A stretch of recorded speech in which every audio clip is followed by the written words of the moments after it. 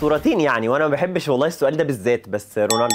رونالدو آه، رونالدو في, في آه، سينما في سينما في الأهداف.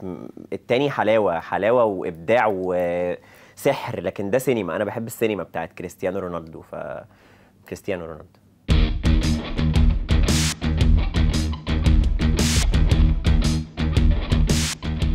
السؤال صعب شوية لكن أنا بختار فيريرا. بقول بس إن السؤال صعب لأنه المقارنة لوحدها كده على مستوى الألقاب وكده هتبقى طبعا ظالمة لفريرا اللي قعد موسم ونص تقريبا مع الزمالك لغاية دلوقتي بالمجموع بعكس جوزيه اللي قعد على ثلاث مراحل وحقق فيها أكبر عدد ممكن من البطولات أسطوري يعني. آه، لكن والاثنين كاريزما غير طبيعية والاثنين مقنعين جدا للعبتهم وبيعرفوا يتعاملوا مع الإعلام بذكاء وإن كانت الطرق مختلفة. لكن أنا بحس إن فيريرا فيريرا معلم يعني بيعلم التدريب. ف وبيعرف يعلم اللعيبة الكورة. آه، جوزيه بيعرف يكاتشن جدا يعرف يعمل ينثر أفكاره بذكاء شديد يعرف يأثر في نتيجة المباراة. فالاثنين أسطورتين. أنا عارف إن طولت في الإجابة لكن أنا بختار فيريرا. يعني.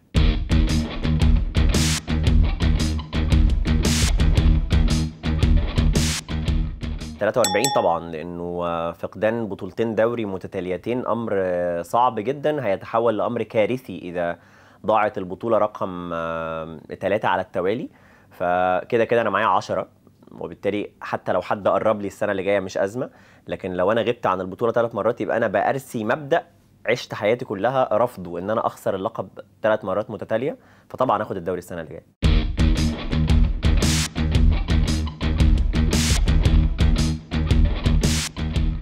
بكل تأكيد أفريقيا. الزمالك بيحاول من 2002 ياخد البطولة. استعصت عليه مرتين آه، 2016 والتانية كانت قاسية جدا قدام الأهلي. أنا هكون بالفعل واخد الدوري مرتين متتاليتين. آه، لو خدته التالتة هبقى يعني عملت تاريخ رقمي بس إن أنا لأول مرة في حياتي باخد الدوري ثلاث مرات متتالية. لكن طبعا أفريقيا هبقى قربت شوية من الأهلي هبقى بعدت عن مازيمبي هبقى رجعت بطولة بحلم بيها طول عمري. فأكيد لو أنا زملكاوي هختار دوري أبطال أفريقيا السنة اللي جاية.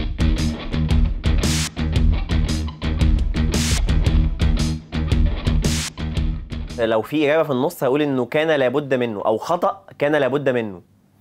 آه، ليه خطأ؟ لأنه نتائج رائعة متحققة آه، على المستوى القاري خسارة أفريقية مش معناها نهاية المطاف نتائج في الدوري مهتزة شوية لكن قادرة للعودة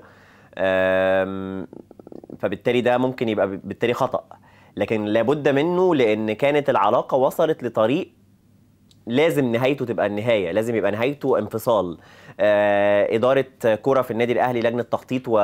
و... وفنيين شايفين إنه مش ماشي صح شايفين إن هو دماغه لوحدها في حتة وهم في حتة هو بقى متضايق من التوجيهات هم شايفين إنه ما بيسمعش التوجيهات. آم، أعتقد إنه كان خطأ لكن لابد منه. توقيت الرحيل بقى هو اللي أنا بقول إنه كان غلط تماما.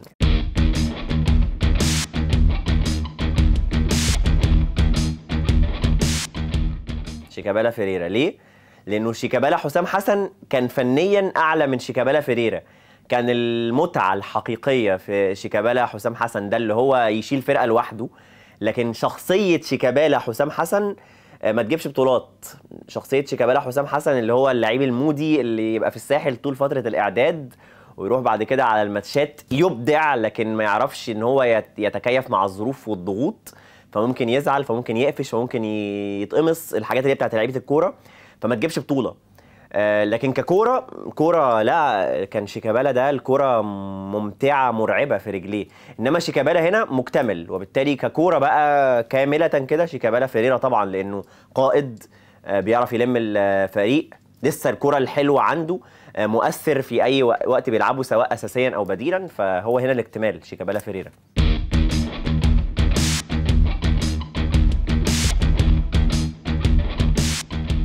ان ريال مدريد زيدان.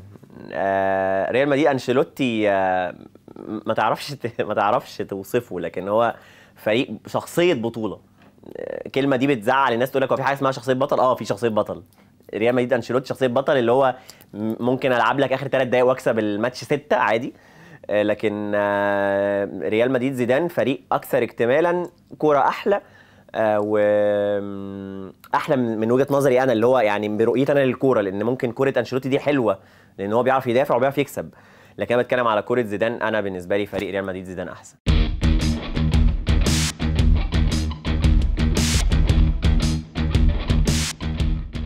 ككورة وكقوام جيل حسن شحاتة 6 8 10 مع إنهم ما راحوش كأس عالم يعني بس أنا بحب دول ككورة أكتر.